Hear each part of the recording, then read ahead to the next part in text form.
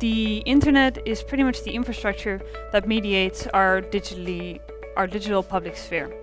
And so you can never sort of separate what that medium is from how the message gets delivered because it's it is one and the same. So we should strongly interrogate what are the powers at hand and what is this structure and how are we structuring our uh, reality. There's quite a lot of uh, uh, advocacy and very public um, attention towards uh, things like blocking and filtering and shutdowns and, and all these things. But when it comes to the logical layer and the infrastructural layer, we need to, uh, I think, make a more convincing narrative basically around what's going on and what the actual implications are. The beautiful thing of the internet is it's not finished. It's just the beginning.